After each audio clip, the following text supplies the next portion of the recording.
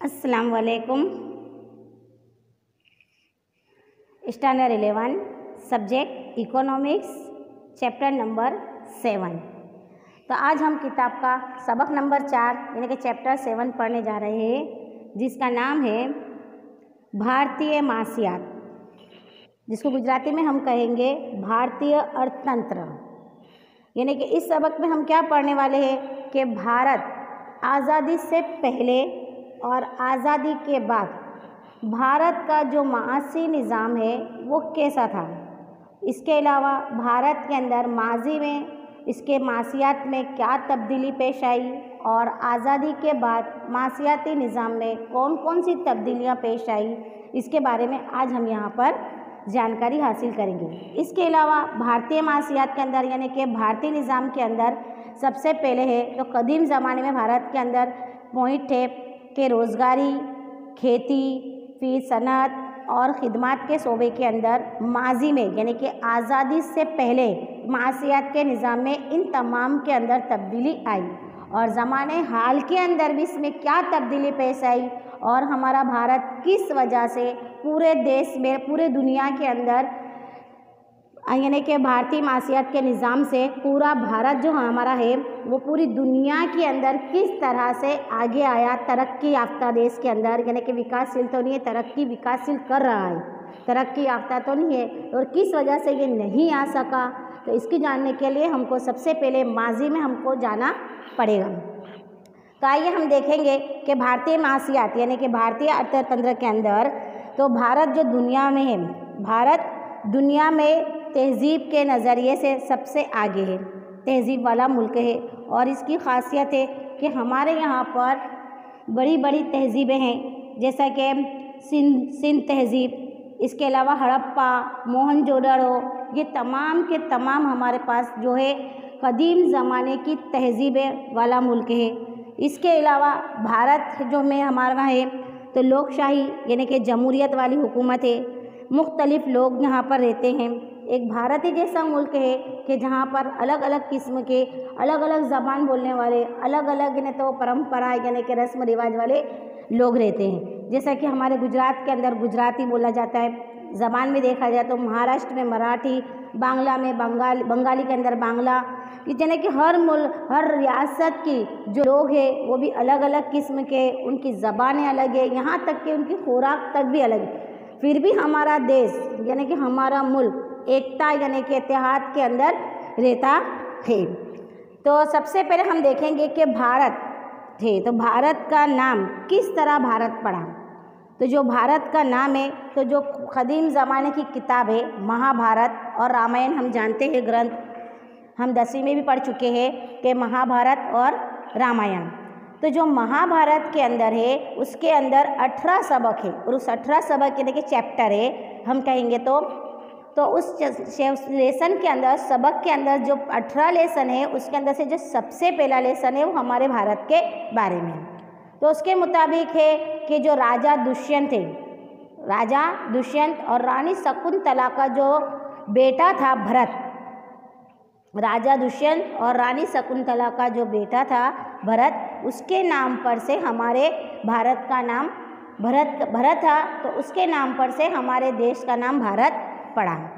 अब भरत का, हम भारत का मायने जानेंगे तो भर का मतलब होता है कि प्रकाश, यानी कि रोशनी, और इसका मतलब होता है, तर का मतलब होता है देने वाला, यानी कि रोशनी देने वाला। तो भारत का मतलब है रोशनी देने वाला। तो भाई, काय की रोशनी देने वाला है? तो इल्म की रोशनी देने वाला है।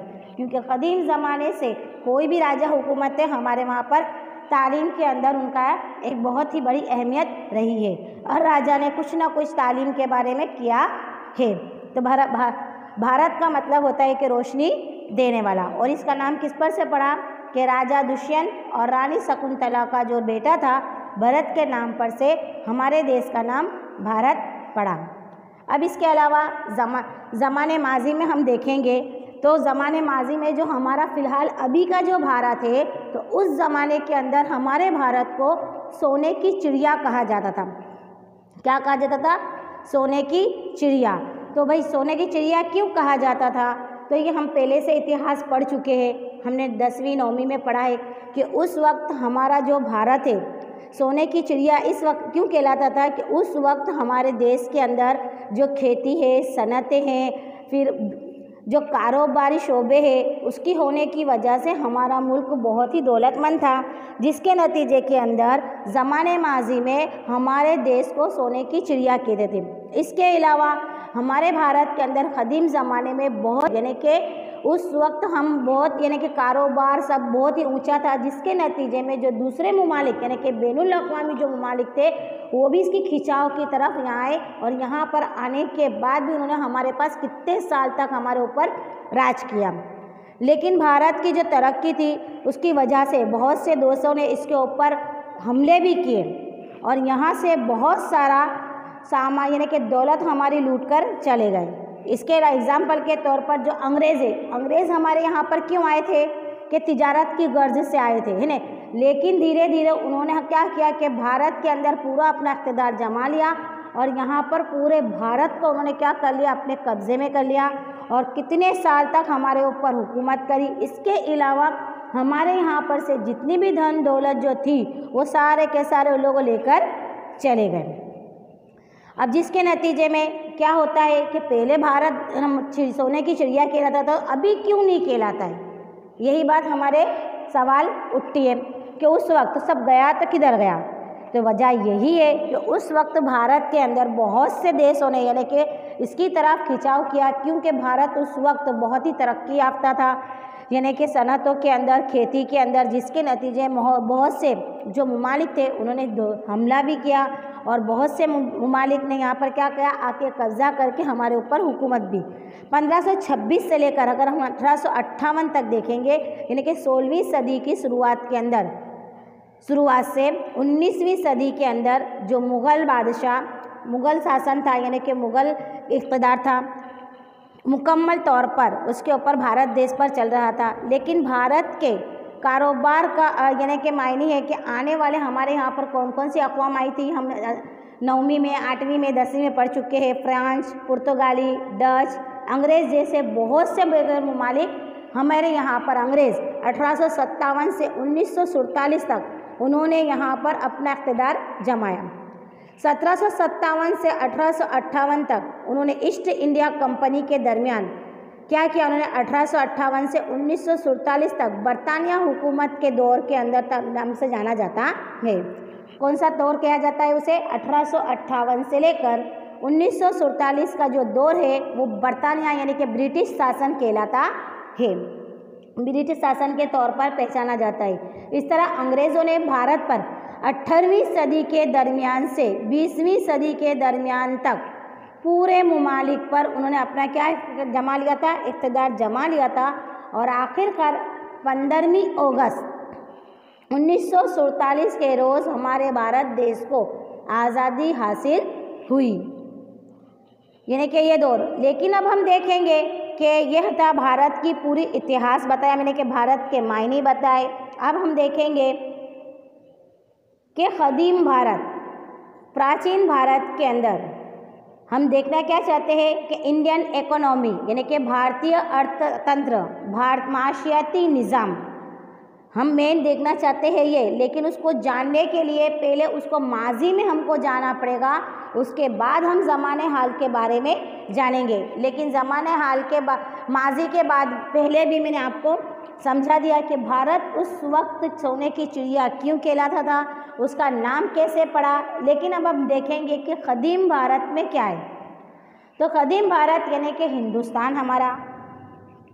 और हिंदुस्तान में कौन, अब भी मैंने पहले ही बता चुकी थी कि दो कदीम दो कदीम तहजीबें थी, जो हम नौवीं दसवीं में पढ़ चुके हैं। दसवीं में तो ख़ास आपको याद होगा। एक थी कौन कौन सी थी? कदीम तहजीबें, एक थी सिंध तहजीब और दूसरी आर्य तहजीब। ये दो सबसे कदीम तहजीबें हमारे भारत की थी। और देश के अंदर देश की पूरी दुनिया के अंदर कदीम तहजीब होने वाला हमारा मुल्क नंबर एक पर है। इसीलिए हड़ा, इसके अलावा हड़प्पा, मोहन जोड़ो के जो नाम है, इन मुकामात पर से भी हमको इस तहजीब के बहुत से आसार साबित हुए हैं। हम ये दसवीं पे पढ़ चुके हैं।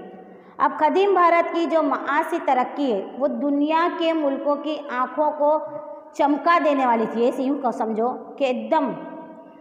जिसकी वजह से दुनिया में भारत कदीम समय से, यानी कि कदीम वक्त से जो खेती है और उसकी खेती, यानी कि खेती के अंदर हमारा मुल्क सबसे ज़्यादा अहमियत रखता है।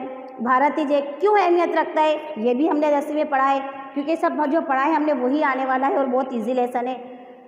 कि कदीम भारत में क्यों, यानी कि खेती में क्यों हम आगे? तो भारत एक ही जैसा मुल्क है कि जहाँ पर तीनों तीन मौसम होते हैं। जैसा सर्दी, गर्मी और बारिश तीनों तीन मौसम में हमारे वहाँ अलग अलग किस्म की हम फ़सलें लेते हैं।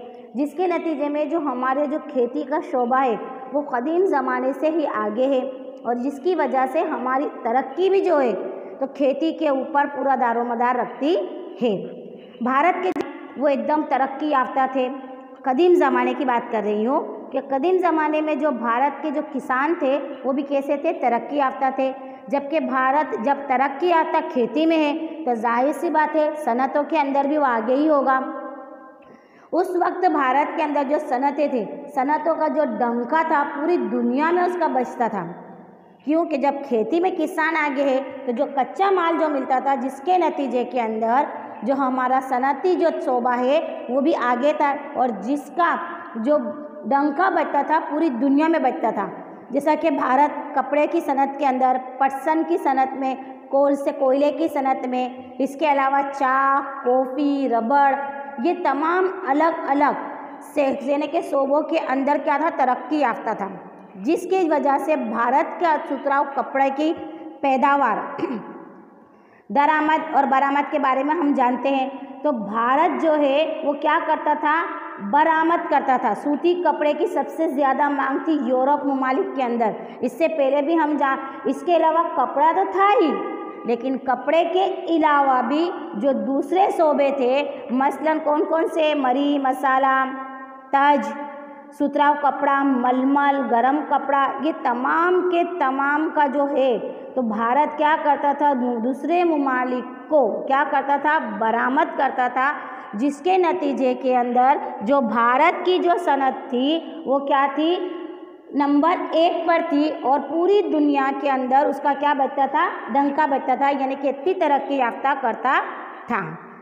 तो ये था हमारा कदीम भारत के बारे में। अब इसके बाद हम देखेंगे तो भारत के अंदर रोज़गारी का माड़खा खेती, यानी कि रोज़गारी का माड़खा यानी कि क्या कहेंगे? रोज़गारी का ढांचा, खेती, सनत और खिदमत। में क्या तब्दीली आई? तो सबसे पहले रोज़गारी ढांचा, यानी कि रोज़गारी न माड़को तो कदीम भारत से यानी कि खेती के अंदर आगे, यानी कि सन, ये मैंने पहले बताया कि खेती के अंदर अहमियत रखता है। इसके बावजूद भी कदीम भारत खेती की सनतों के मुताबिक तरक्की आता था। भारत का ज़्यादातर के जो हिस्से के जो लोग थे, जो आबादी, वो खेती पर मुनसर होती थी। और देश का जो गाँव, यानी कि जो ग्रामीण बोलेंगे जिसको, उसका निज़ाम भी किसके ऊपर था? रोज़गारी, यानी कि खेती के ऊपर मुनसर था। अब इसके बाद रोज़गारी के मार तो रोज़गारी के मार्के के अंदर सबसे पहले हम देखेंगे कि खेती। और दूसरा है सनत और तीसरा है खिदमत। तो सबसे पहले हम देखेंगे खेती। तो भारत की जो खेती है, ये बहुत ही तरक्की याफ्ता थी। मैंने पहले ही बता दिया, जिसकी वजह से जो गाँव के इलाकों के अंदर उसके ऊपर ही मुनसर थे। गाँव में रहने वाले आबादी जो थी, उनकी ज़्यादातर की ज़रूरत की अशिया जैसा कि अनाज है, सब्ज़ी है, फल है, कपड़ा है, चप्पल, यहाँ तक के मवेशी का पालन, ये तमाम के तमाम अशिया वो किसके ऊपर होती थी? खेती के ऊपर दारोमदार रखती थी और उसके ऊपर से ही वो पैदावार करती थी। जिसके नतीजे में जो उनकी ज़िंदगी थी, किसकी? किसानों की जो ज़िंदगी थी, जो खेती के शोबे पर दारोमदार रखते थे, उनकी ज़िंदगी थी कैसी? खुशहाल थी। कब थी? कदीम ज़माने में, यानी कि आज़ादी से पहले, यानी कि अंग्रेज़ों से भी पहले, उसके बाद आएगा सनत। तो तारीख के अंदर जो मासियात हैं टी. राय चौधरी के मुताबिक, याद रहे कौन सा? टी. राय चौधरी के मुताबिक 19वीं सदी से पहले भारत सनती पैदावार के, पैदावार करने के अंदर सबसे आगे था। और इसका मखसूस जो था वो कौन था? सुतराव कपड़ा। मलमल का कपड़े की क्या करता था? वो बरामद करता था। तो ये इसमें क्या था? वो आगे था। नेस कच्चा रेशम, गरम कपड़ा, शाल ताजपत्री इसके अलावा मूर्तियाँ, ये तमाम वगैरह वगैरह जो है, उसकी पैदावार करने में, यानी उसकी पैदावार करके भारत उसको दूसरे ममालिक ममालिक में, यानी कि बैनुल अवी ममालिक में क्या करता था? बरामद। बरामद का मतलब होता है भेजना और दरामद का मतलब होता है लेना। तो इसमें सनतों के अंदर वो आगे था। इसके बाद आएगा सेवा, यानी कि जिसको हम कह सॉरी सनत। तो सनतों के अंदर मैंने आपको बता दिया। अब जो तीसरा था वो सेवा, जिसको हम कहेंगे खिदमत। तो खिदमत के अंदर लगभग 600 साल पहले कदीम भारत के अंदर मुख्तलिफ़ निशान वाले सिक्के बनाने में आते थे। कितने साल पहले? 600 साल पहले। कौन से सिक्के मुख्त, यानी कि अलग अलग किस्म के निशान वाले सिक्के बनाए जाते थे? ख़ास करके उस वक्त में मुख्तलिफ़ जो कारोबार करने वाले हैं, इसके अलावा जो शहरी की तरफ़ जो शहरी तरक्की याफ्ता करने वाले हैं, वो निशान वाले, यानी कि काम काज जो करते हैं, यानी कि रियासती एकता इसके अलावा ये फौजी सुरक्षा की वजह से जो खेती की पैदावार करने में, जो कारोबार करने वाले हैं, वो क्या करते हैं, उसके ऊपर नोंदनी करते थे, यानी कि नोट करते थे। मुख्तलिफ़ मकसद, मसलन लेंगे कि लोथल। लोथल के लोथल मुकाम से जो हमको मिलने वाले हैं, वो सिक्के, इसके अलावा वहाँ की जो नगर व्यवस्था है, यानी कि उनके जो शहरी, यानी कि जो शहरी बनाया है, ये तमाम के तमाम उसका क्या देते हैं हमको?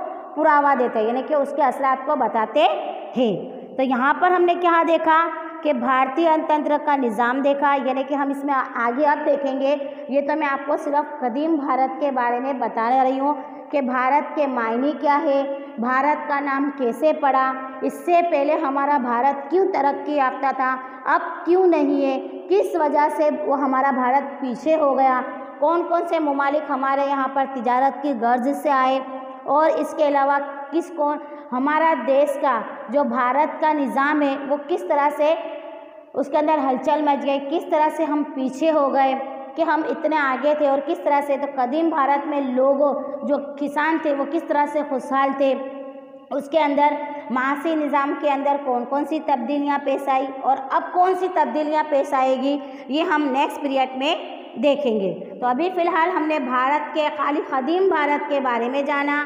इसके अलावा उसके जो रोज़गारी थी कदीम भारत की जो रोज़गारी का ढांचा था और उस रोज़गारी के ढांचे के अंदर कौन कौन से शोबे आगे थे, इसके बारे में मैंने बताया।